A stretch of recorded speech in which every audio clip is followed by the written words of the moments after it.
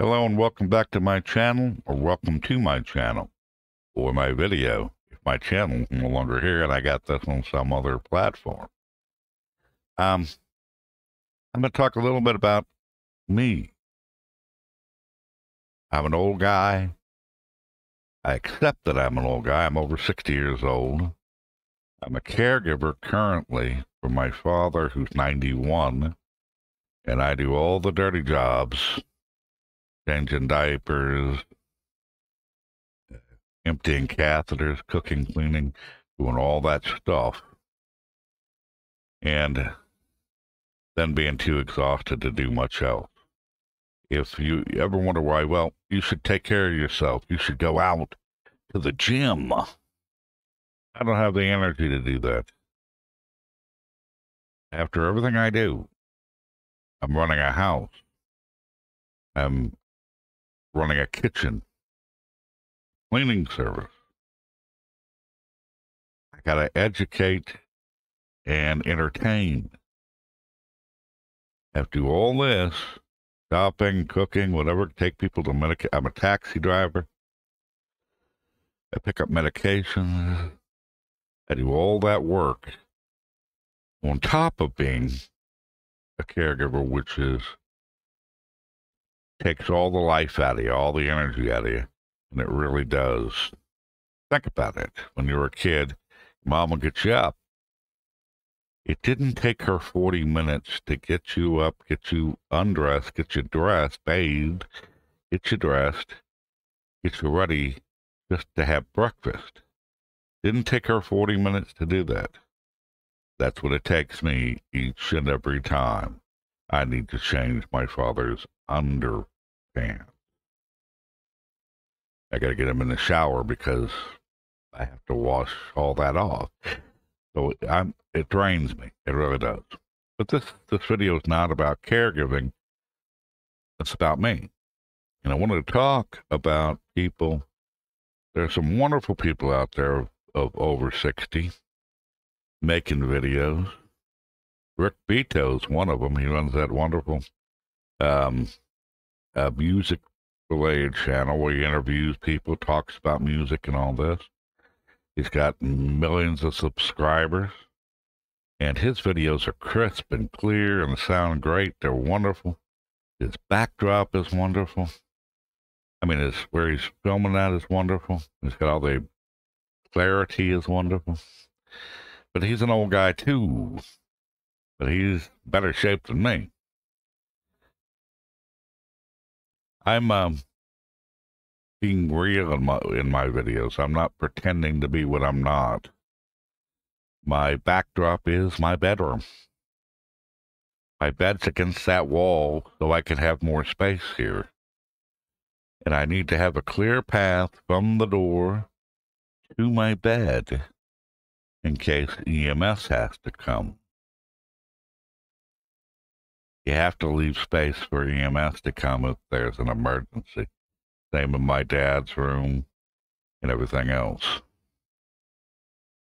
So yeah, I drink a lot of coffee too, because I don't think it keeps me awake some days.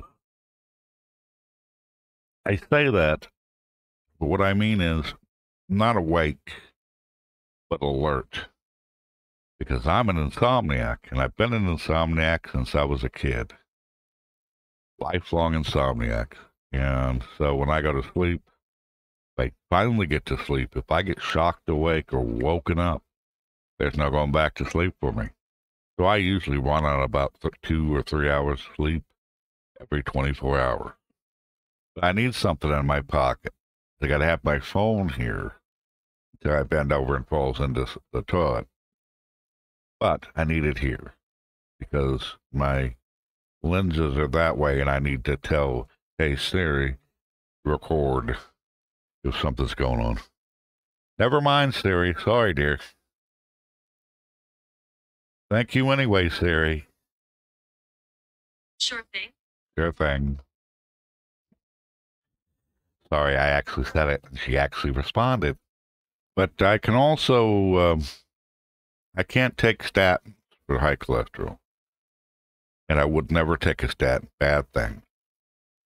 So they're always trying to push statin medicine on me or, or cholesterol medicine on me or try to figure out a way. So now they got me on this thing.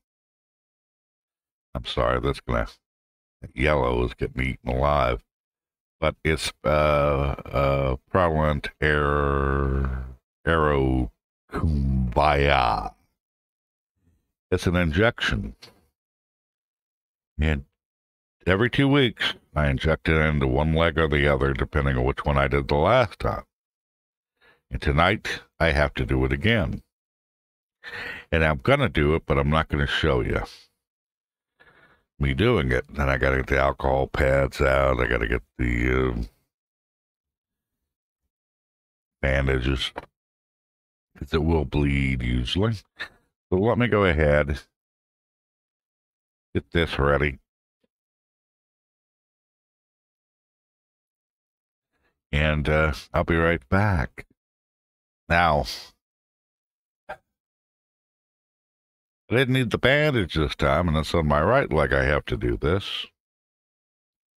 I did use it. All was gone.